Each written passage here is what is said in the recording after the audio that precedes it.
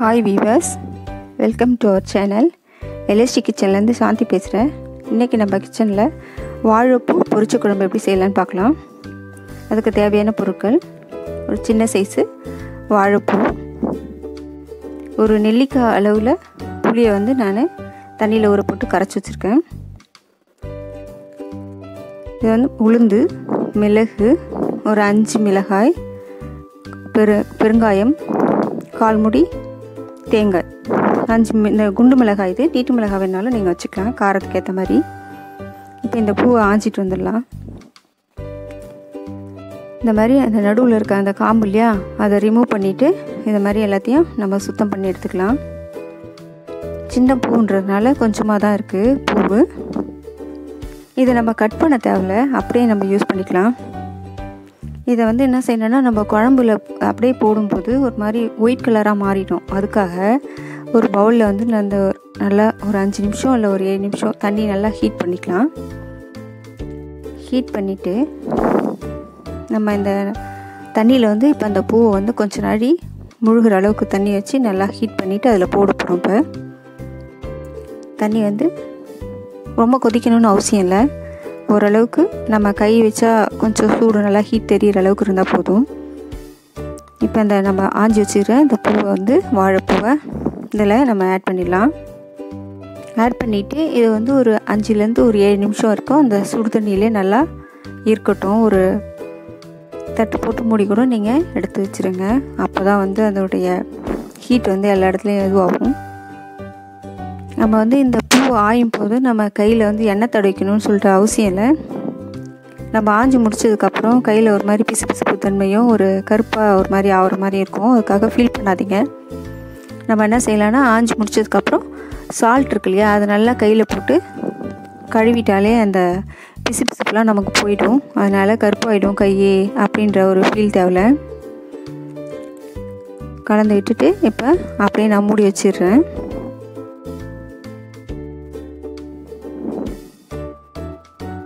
திரும்ப வந்து ஒரு அடுப்பில் வந்து ஒரு வானல் வச்சுட்டு வானல் நல்லா ஹீட் ஆகட்டும்.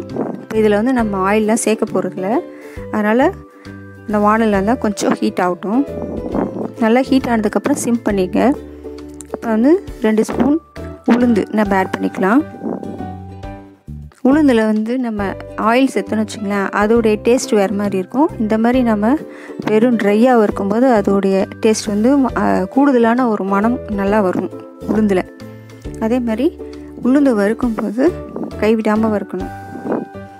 அந்த மாதிரி கலந்து விட்டுட்டே இருந்தால் தான் ஈவனாக எல்லாமே ஒரு ஈவனாக ச புன்னிறமாக ஆகும்.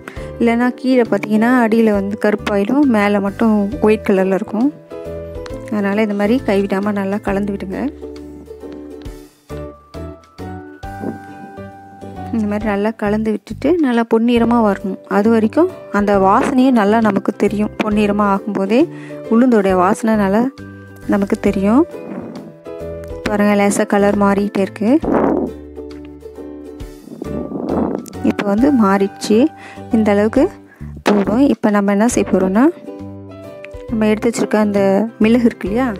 ஒரு ஸ்பூன் மிளகு இதில். இப்போ நான் ஆட் பண்ண போகிறேன் அதையும் அந்த மிதமான ஹீட்டில் ரொம்ப ஹீட் தேவையில்ல மிதமான ஹீட்டில் அதையும் நல்லா நம்ம ரோஸ்ட் பண்ணிக்கலாம். ஒரு நிமிஷம் போதும் இந்த மிளகு வறுக்கிறதுக்கு. அதுக்கடுத்து நம்ம காஞ்ச மிளகா அஞ்சு எடுத்து வச்சுருக்கோம் இல்லையா? அதையும் இது கூட ஆட் பண்ணிக்கலாம். மிளகா வந்து அதே மாதிரி நம்ம ரோஸ்ட் பண்ணும்போது அந்த மிளகாய் வாசனை நெடி வந்து நமக்கு தெரியும். ரொம்ப கருப்பாகாமல் மிதமான ஹீட்டில் வச்சு இதை மாதிரி நல்லா நம்ம ரோஸ்ட் பண்ணிக்கலாம். இப்போ ஸ்டவ் ஆஃப் பண்ணிவிட்டு நம்ம ஒரு தட்டில் கொட்டி ஆற வச்சிடலாம். இந்த வானலோடு விட்டிங்கன்னா அப்படியே கருத்துரும். அதனால் ட்ரான்ஸ்ஃபர் பண்ணிக்கோங்க. இது மாதிரி நல்லா தட்டில் கொட்டி நல்லா காய இது வச்சுருங்க. ஆற வச்சுட்டு ரெடி பண்ணிக்கலாம். பாருங்கள் பூ வந்து அந்த சுடு தண்ணியில் எப்படி இருக்குது பாருங்கள் இப்போ நல்லா தண்ணியை பிழிஞ்சிட்டு ஒரு தட்டில் ட்ரான்ஸ்ஃபர் பண்ணிக்கலாம். இந்த பூவில் இருக்கிற பால் பார்த்திங்களா அந்த தண்ணியில் வந்து நல்லா படிஞ்சிருச்சு. இப்போ நம்ம வந்து குழம்பு வைக்கும்போது பார்த்திங்கன்னா அந்த அந்த பால் வந்து அதில் படியாது. அந்த டேஸ்ட்டும் மாறாமல் இருக்கும். நல்லா நல்லாயிருக்கும் அதனால தான் இந்த சுடுதண்ணியில் நான் போட்டு வச்சேன். இதில் உப்புலாம் போட தேவையில்லை அவசியமே இல்லை. அப்படியே போட்டிங்கனாலே போதும். இப்போ இதை ரெடி பண்ணிட்டேன். இப்போ நம்ம வறுத்து வச்சுருக்கோம் இல்லையா? அதை நம்ம வந்து பவுடர் ஆக்கிட்டு பேஸ்ட் பண்ணிட்டு வந்துடலாம். ஆறிடுச்சு. இப்போ வந்து மிக்சி ஜாரில் ட்ரான்ஸ்ஃபர் பண்ணிக்கிறேன்.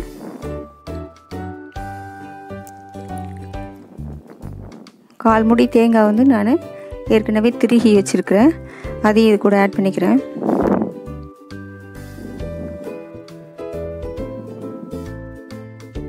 இப்போ இதை வந்து நம்ம என்ன செய்ய போகிறோன்னா தண்ணி விட்டு கொஞ்சம் நல்லா நைஸ் பேஸ்ட்டாக அரைச்சிட்டு வந்துடலாம்.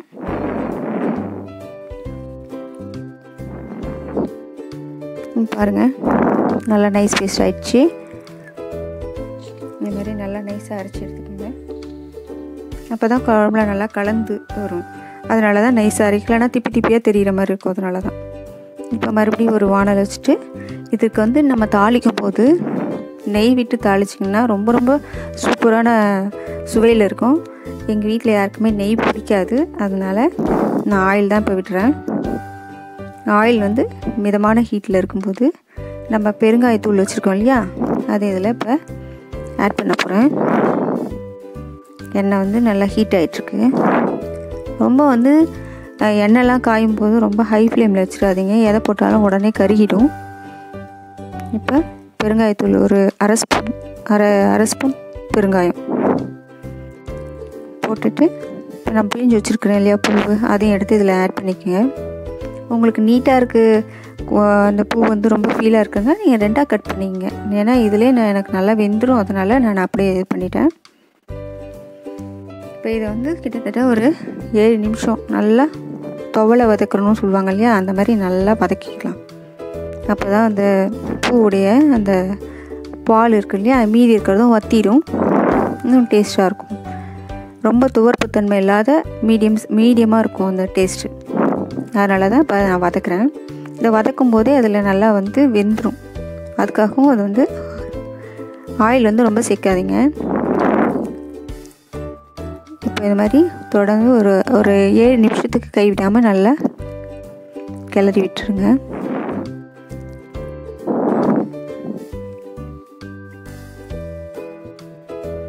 பாருங்கள் நல்லா இப்போ தோலை வதக்கிட்டேன். இப்போ நம்ம புளியை வந்து நல்லா தண்ணியில் கரைச்சி வச்சுருக்கோம். புளி வந்து எலும் உங்களுக்கு புளிப்புத்தன்மை வேணால் எலுமிச்ச அளவுக்கு எடுத்துங்க. இல்லை சிலவங்களுக்கு புளி வந்து ரொம்ப பிடிக்காது. அதனால் ஒரு நெல்லிக்காய் அளவுக்கு சின்ன சைஸில் எடுத்து நல்லா ஊற வச்சு கரைச்சி வச்சுருக்கேன். இப்போ அதையும் எடுத்து இதில் ஆட் பண்ணிக்கலாம். இப்போ ஆட் பண்ணிவிட்டு இதை கொதிக்க விடணுன்ற அவசியம் இல்லை. நம்ம எல்லாமே கலந்து விட்டு நம்ம இது பண்ணும்போது அது கொதிச்சிடும். புளித்தன்மை போயிடும். இப்போ வந்து நம்ம அரைச்சி வச்சுருக்கோம் இல்லையா பேஸ்ட்டு அதை வந்து கொஞ்சம் தண்ணி ஊற்றி நம்ம கரைச்சிட்டு இதில் இது பண்ணிக்கலாம். இல்லைனா வந்து புளி வந்து புளி தண்ணி ஹீட்டாக இருந்ததுன்னா அது கட்டி கட்டி ஆயிரும். அதனால் கொஞ்சம் தண்ணி விட்டு கரைச்சி இப்போ அதில் நான் ஆட் பண்ணிட்டேன். நல்லா இதை இப்போ கலந்து விட்டுடலாம். இப்போ கலந்து விட்டுட்டு இந்த இதுக்கு தேவையான அளவு இப்போ உப்பு போட்டுக்கலாம்.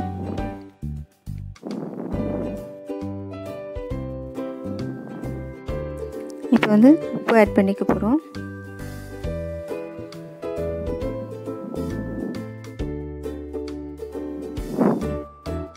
உப்பு ஆட் பண்ணி நல்லா கலந்து விட்டுருங்க. பாருங்கள் நல்லா ஒரு ஏழு நிமிஷம் ஆச்சு. இந்த ஏழு நிமிஷத்தில் இந்த மாதிரி திக்காக வந்துருச்சு குழம்பு. இப்போ ரெடி ஆயிடுச்சு. பொரிச்ச குழம்பு ரெடி ஆகிடுது இது வந்து நாலு பேருக்கு தேவையானது. இட்லி தோசை சாதம் எல்லாத்துக்குமே இது ரொம்ப சைட் டிஷ் வந்து சூப்பராக இருக்கும். மறக்காமல் இதை டேஸ்ட் பண்ணிவிட்டு எப்படி இருக்குன்னு கமெண்ட் பண்ணுங்கள் மறக்காமல் சப்ஸ்கிரைப் பண்ணிவிடுங்க இந்த வாழைப்பூ மடல் இருக்கு இல்லையா இதை தூக்கி எரிஞ்சிடாதீங்க. இதை வந்து நல்லா சின்ன சின்ன பீஸாக்கி இதை நான் காய வச்சுட்டு அதுக்கடுத்து இதில் ஒரு மருந்து நான் எப்படி தயாரிக்கிறதுன்றதுக்கு எனக்கு எப்போ ஃப்ரீ டைம் இருக்கோ அந்த டைமில் உங்களுக்கு நான் இதை செஞ்சு வீடியோவாக செஞ்சு அனுப்புகிறேன். இப்போ இது ரெடி ஆகிடுது இதை இதை வந்து சாப்பிட்டு பார்த்துட்டு டேஸ்ட்டு சொல்லுங்கள். மறக்காமல் சப்ஸ்கிரைப் பண்ணிவிடுங்க தேங்க்யூ.